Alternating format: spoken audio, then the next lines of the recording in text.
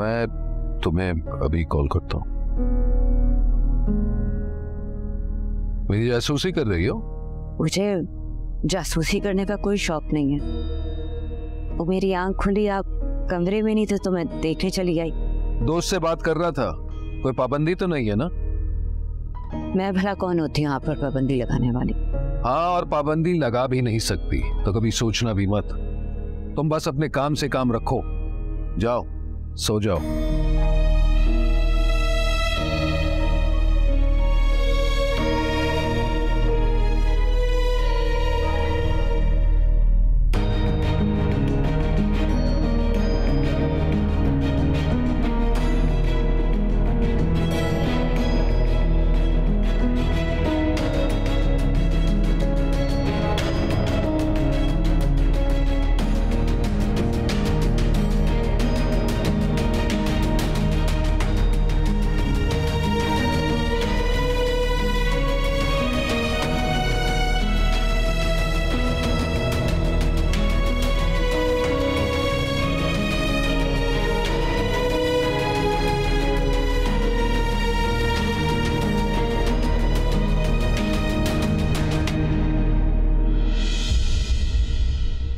मेरे गुनाह ज़्यादा है।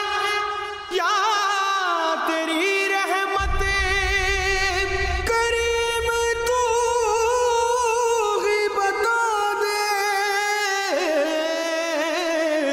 करके हिसाब मुझे।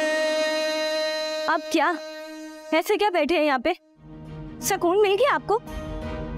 जिस हाल में आपने उन्हें रखा हुआ था ना अच्छा हुआ। अच्छा हुआ कि वो अल्लाह से जान मिली। आपसे जान छूट गई है उनकी। सवेदा ये तुम क्या कह रही हो सवेदा मैंने तुम्हारी बहन का बहुत अच्छा ख्याल रखा। आखिर इस इस, इस घर पे क्या कमी थी?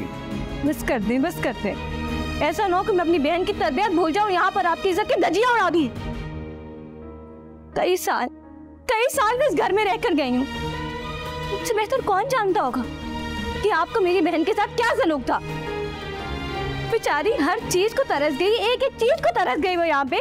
आपने तो उनके दवा और इलाज का भी ख्याल नहीं किया। आपकी लापरवाही और कंजूसियों की वजह से मेरी बहन मौत के मुँह चली गई है।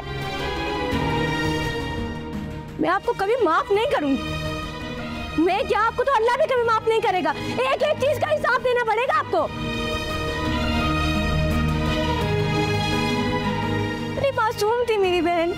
अल्लाह पूछेगा आपसे सिर्फ़ अल्लाह।